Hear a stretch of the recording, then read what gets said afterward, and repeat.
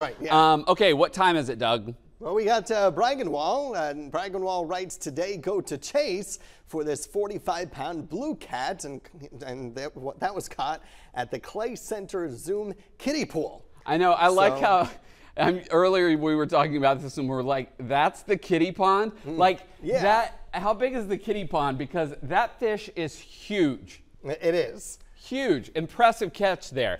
Hey, submit your own hunting and fishing photos to the Braggin' Wall on the Morning Show page, wibw.com slash this morning.